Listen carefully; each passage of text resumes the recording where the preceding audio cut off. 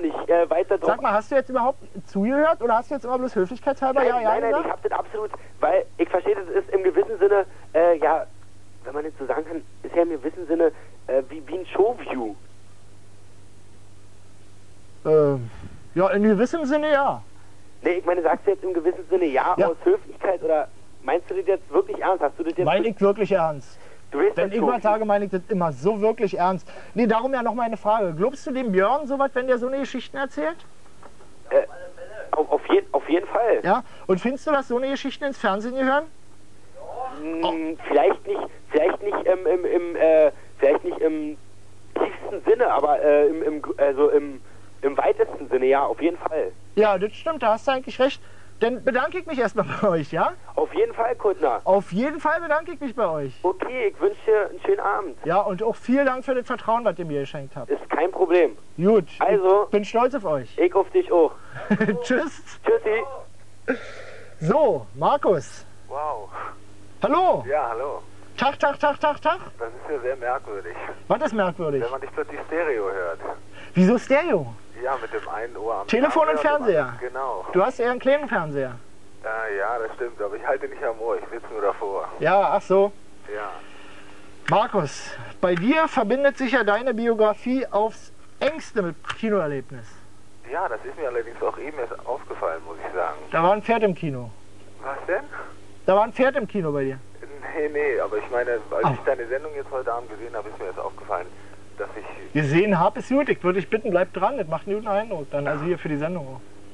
Ja, prima.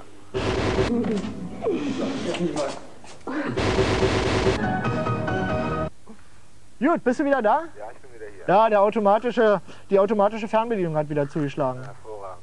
Ja, jetzt bist du aber dran. Ja, Markus, du müsstest ein bisschen lauter sprechen. okay. Hört man mich besser jetzt?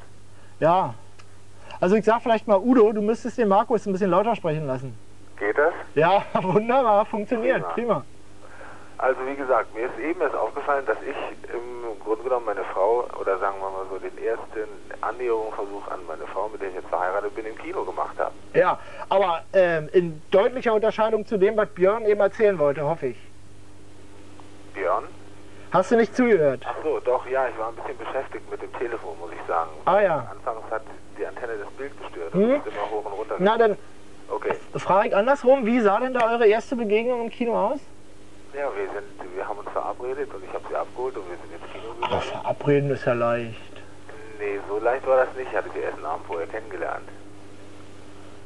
Naja gut, wenn man sagen wir, eine Frau am Vorabend kennenlernt, ja, dann gibt es ja irgendwie doch waghalsigere Aktionen, als sie zum nächsten Abend ins Kino einzuladen. Das kommt darauf an, was man vorhat. Ja gut, wenn man vorhat, einen Film zu sehen, dann, dann ist es vielleicht angebracht, aber auch immer noch nicht waghalsig.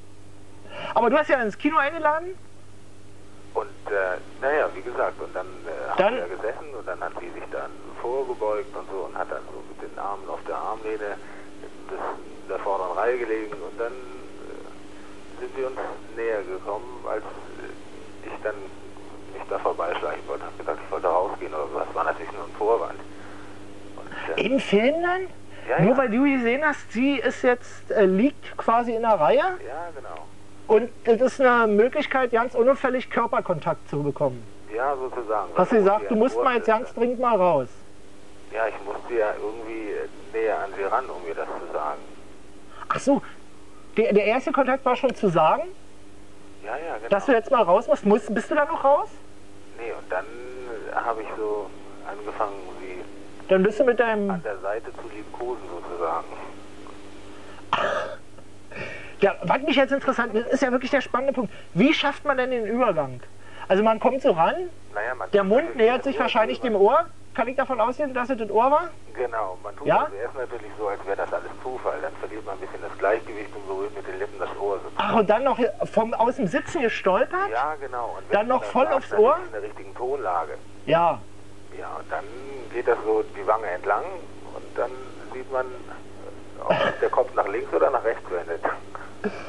Äh, War im Grunde so, so eine, wie so eine Gletscherkatastrophe. Ja, so ruff und dann so rumgerutscht. So. Ja, es war eine ziemlich fließende Bewegung. Und da gehört aber ein ziemliches Koordinationsvermögen dazu. Du bist dann wahrscheinlich, also dein Ziel war sicher eher der Mund. Ähm, ja, ich war mir noch nicht sicher.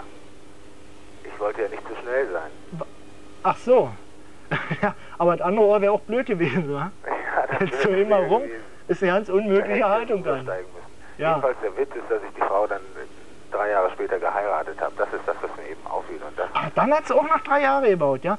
Ihr dauert vom Kennenlernen zum quasi ersten Kuss einen Abend ungefähr? Und dann aber bis zum Heiraten drei Jahre. Was ist denn in den drei Jahren so passiert? Du musstest nämlich an öfter nochmal durch. durch was? Durchs Kino. Ja, na, nee, jetzt also nee, in den drei Jahren wird sie ja noch mehrmals die Gelegenheit ergeben, ergeben haben, irgendwie ihr ins Ohr zu flüstern, dass du jetzt mal kurz hier vorbei müsstest. Oh ja, natürlich. ja? Ja. Äh, und wann, äh, wie hast du denn, den, hast, hast du den Antrag gemacht? Ähm, nein, das war sie. Das war sie. Ja.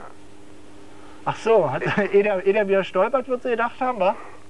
Ja, das hat ja dann noch drei Jahre lang gedauert. Und jetzt geht er noch gerne in Kinos?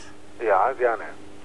Aber wir stehen immer vor dem Kino und wenn wir dann dran sind, gibt es keine Karten mehr. Ah ja. Warum nicht? Zoopalast.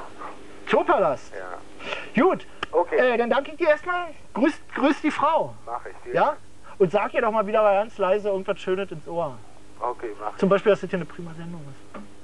Ja, Okay, tschüss. gut, tschüss. So, wir gucken jetzt erstmal wieder noch ein bisschen. Ah, jetzt gucken wir mal ganz kompliziert. Da habe ich mir ganz viel aufgeschrieben. Nur wo?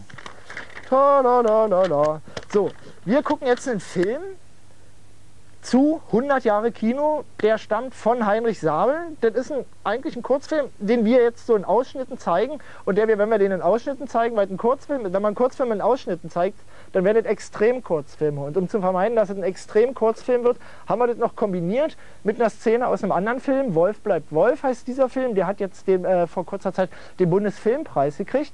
Und da ist so eine Szene drin, die passt ganz schön zu diesen Überlegungen 100 Jahre Kino. Ist eigentlich der Kampf zwischen Fernsehen und Kino. Nu bin ich ja vom Ansatz her schon so eine Art Fernsehverächter, außer wenn ich jetzt zufälligerweise gerade selber dann im Gerät sitze, dann finde ich, dass Fernsehen eigentlich doch eine große kulturelle Leistung ist, der man äh, seine Aufmerksamkeit ungeteilt schenken sollte. Äh, das wendet sich dann aber sehr hin zum Kino, zu eben 100 Jahre Kino, weil das Kino jetzt demnächst gerade in diesen Tagen, in diesem Jahr 100 Jahre wird. Gucken wir uns erstmal an, den Film von Heinrich Sabel. Müsste man genau hingucken, wenn man Spaß dran hat, findet an diesem Film, dann würde ich danach noch ergänzende Bemerkungen dazu machen. Ja, jetzt gucken wir uns das erstmal an.